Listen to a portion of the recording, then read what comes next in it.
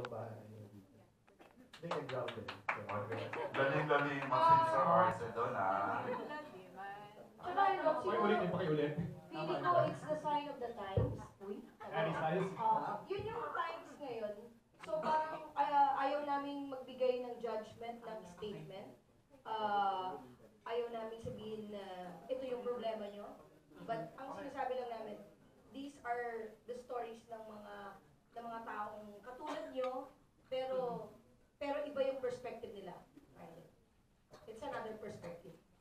And also, there, there, there, there are many reasons to, to, to die, but there can only be one reason to live. One, one reason to live. So, we want to focus on that. Wow! So much hope. Ang hopeful ng Panalima project. ng panalima. Okay. Patuloy naman ito. Ikaw, ikaw, ikaw. Salamat na lang. Salamat. Salamat sa magandang salita. Okay, thank you din po. May interesting question dito si si Oreo. Ay, Yung last night ba ay ah, kagabi o huling gabi? Lahat. dalawa. I told you, oo. Sinasagot ko sa kanya, lahat. Lahat. So, it covers the kagabi at huling gabi. Kagabi, huling gabi, and you want to last the night talaga. You want to last the night talaga.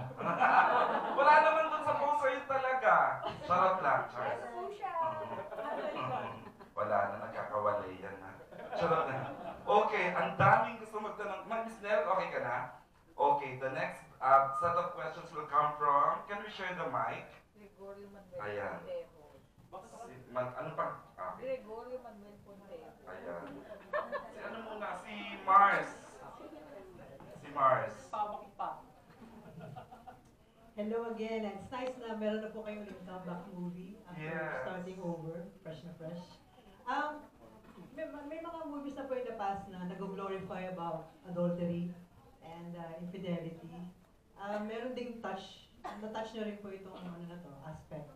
Ay, so Papa P, yung ano yun? Sa teaser, no? Yeah. Ah, sa You mentioned na sabi ni Tony, married, married ka na, yan ka boyfriend. So, um, you're still in a relationship with your wife here. Yeah, that's Or why, no, uh, that's, that's one of the complications in his life. Mm. And that's when he met him, his character. So paano po ano doon, yung, yung outlook nyo on, on on that kind of a complicated relationship na uh, is it na, I mean parang gusto nyo na uh, yung yung good effect nito na hindi naman nakaka-offend sa mga faithful sa mga asawa nila Well, well, I boyfriend guess, you know, my take on that is that sometimes you just have to talk to someone, you know, to get a different perspective. You know, pag masyado ka na marami nangyayari sa buhay mo, pag marami ng komplikasyon, pag marami ng problema sa buhay, sometimes you have to take a, a step back and look at life differently and probably meet somebody who will help you understand life better.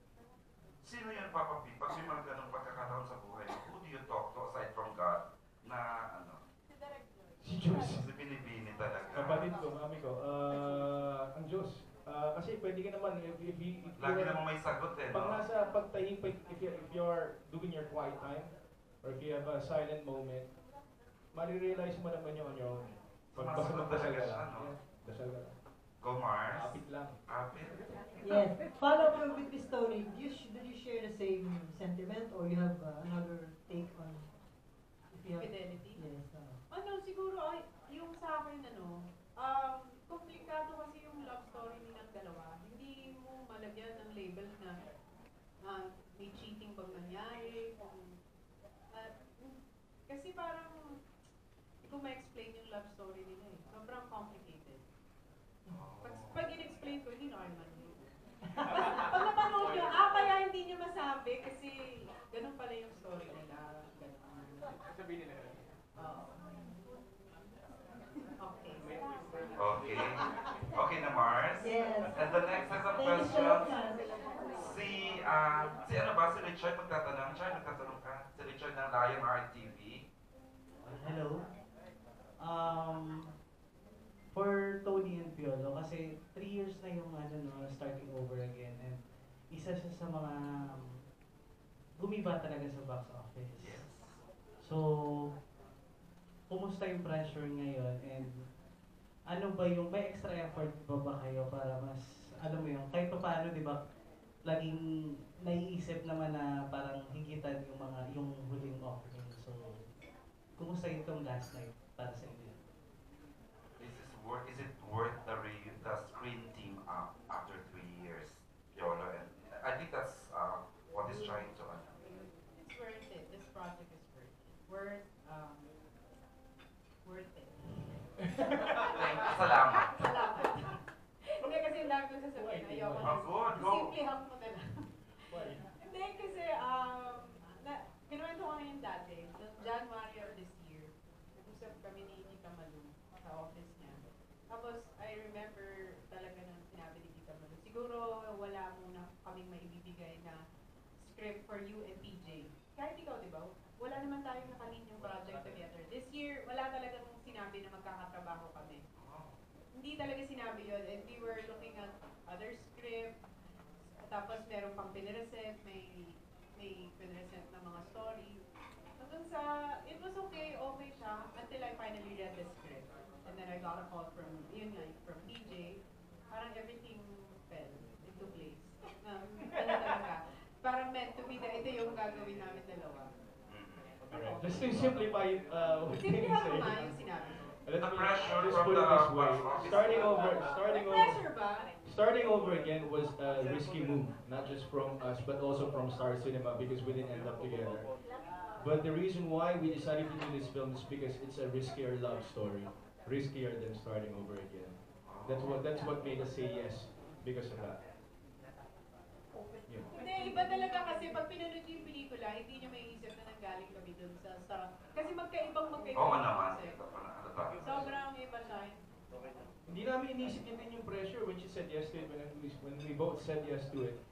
It's because we both fell in love with the story. So we believe in the material, we believe in our director and our producer, we just believe in the whole team. It's a it's a collaboration of brilliant minds nagsama-sama talaga. Thank you naman!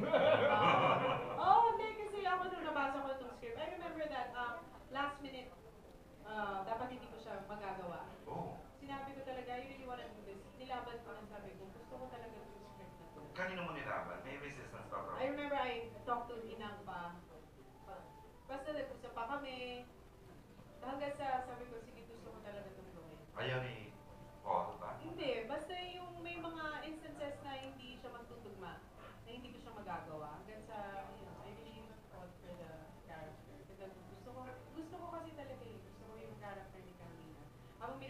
things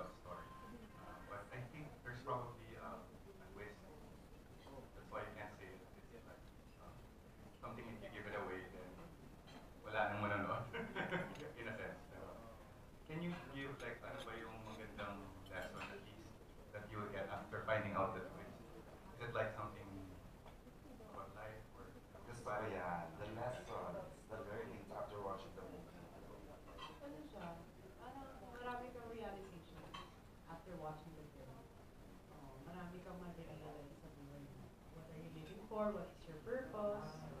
Kung bakit hindi ka mag-give up on in life and in love. It? Will make you want to choose life. You want to live. Yun naman yung message ng film. And it's, hindi naman tayo gagawa ng pelikula para isadla ka. Paiyakin ka man, paiyak, paiyakin ka man, patawanin ka man. It'll make you fall in love and make you wanna live your life to the fullest. Message namin. David? As a director, binibini pa. Well, siguro, sa, sa akin kasi yung pelikula, gusto ko lang siyang love story na hindi tungkol sa tungkol sa pagpapakamatay, tungkol sa kung ano yung kailangan mo ayusin. Kung hindi, sinasabi ng, ah, yung life ng pelikula is kung ano yung may experience nyo habang pinapanood. So, hindi siya,